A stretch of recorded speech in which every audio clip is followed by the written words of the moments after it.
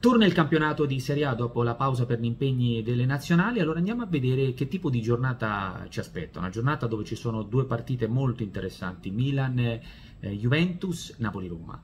Una sorta di bivio per la Serie A. Che direzione può prendere eh, il campionato in questa giornata? Cioè qual è la squadra che può emergere da questi big match che abbiamo appena citato?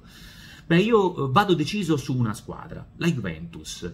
Sì, voglio puntare sulla Juventus in questa partita senza nulla togliere al Milan che sicuramente farà una, una gara eh, importante, anzi arriva a questo match con eh, giocatori più in condizione e soprattutto non ci sono assenze pesanti, c'è il recupero anche di Gabbia in difesa, c'è il centrocampo tipo, c'è un Reinders in grandissima condizione, un Leao che sembra essere rilanciato Insomma, ci sono tutti i presupposti attenzione perché il Milan non può sbagliare.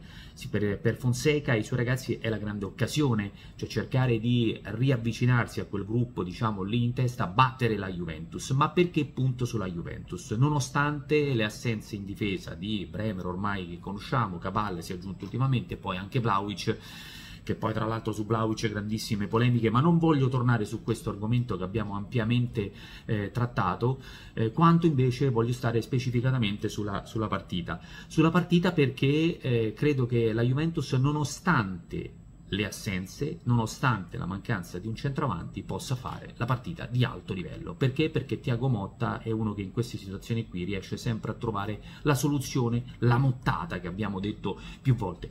Mi aspetto una Juventus eh, con un attacco molto rapido, palla a terra, nella ricerca del gioco continuo nel palleggio, quindi attenzione, in attacco per la Juventus c'è lo spazio, non c'è il centravanti di riferimento. Qualcuno potrebbe sorridere, ma attenzione a eh, UEA, a Ildiz, allo stesso Cambiasso che potrà inserirsi e poi a un Cop Miners che ho visto in netta crescita. È un confronto elettrizzante a centrocampo dove ci sono due olandesi in, eh, che, che, possono dire la loro, da una parte Reinders che sta vivendo un momento di grandissima forma, dall'altra Cop Miners che sta risalendo dal punto di vista delle eh, prestazioni.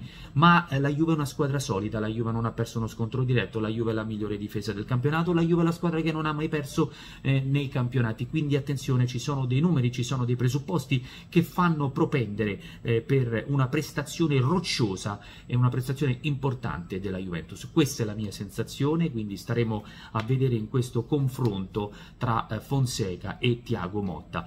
Poi c'è Napoli-Roma, eh, che è una partita eh, delicata per la Roma, che trova Ranieri e quindi mi aspetto una squadra con un blocco basso, che proverà a sfruttare le occasioni che capiteranno, lascerà fare la partita alle Napoli.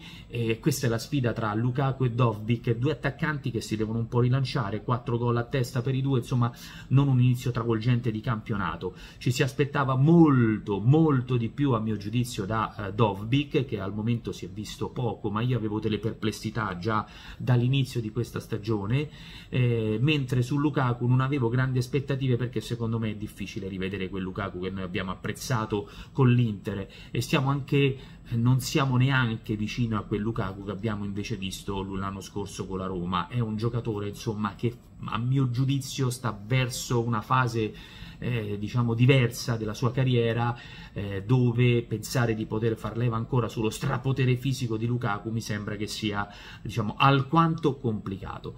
Questa è un po' la giornata che stiamo arrivando poi naturalmente eh, completa l'Inter che gioca d'anticipo contro il Verona che non può sbagliare assolutamente altrimenti si aprirebbero veramente grandi polemiche. Eh, e poi c'è Lazio-Bologna nella serata della domenica che è una sfida tra giochisti molto interessanti dovrebbero esserci 2-4 4-3-3 in campo, stiamo a vedere nella Lazio ci sono ancora delle defezioni, però insomma tutto lascia pensare ad una eh, sfida diciamo di piacevole. Ripeto, complessivamente punto sulla Juve perché credo che nonostante le difficoltà Tiago Motta eh, può in qualche modo incartare la partita a, eh, a Fonseca. Staremo a vedere, se ho sbagliato ne riparleremo qui naturalmente lunedì, lasciate un, un commento, un commento. Ah, volevo chiudere anche sul discorso, perdonatemi, Vlaovic, eh, Zirse, se ne è parlato moltissimo anche durante Maracanà della settimana. Zirse, lo ripeto, tecnicamente un giocatore secondo me superiore a Vlaovic, ma io ho sempre questa concezione che l'attaccante deve fare gol e di conseguenza scelgo sempre Vlaovic, perché comunque i gol li ha fatti eh, e chi non vede questo dato mi fa un po', eh, diciamo così, mi sorprende, mi sorprende. Evidentemente, eh, se noi consideriamo eh, le difficoltà con Allegri e Motta, eh, forse gli allenatori dovrebbero un po' più individuare le caratteristiche del giocatore e metterlo nella condizione. Poi, se lui sbaglia, è un altro discorso, ma che eh, si faccia un po' fatica a diciamo, aiutare Vlaovic era evidente con Allegri era molto evidente, era chiaro ed evidente con Allegri per usare il discorso VAR, con, con Motta, diciamo così, eh, è, siamo su quella, su quella, strada, quindi bisogna forse fare eh, un passo verso, verso, il giocatore. Certo è che le ultime parole sue non aiutano e quindi, conoscendo e vedendo come si è comportato Motta, non escludo che possa avere un po' il pugno duro con Vlaovic prossimamente. Staremo a vedere, ma uno che segna, io me lo terrei sempre. Alla prossima, ciao!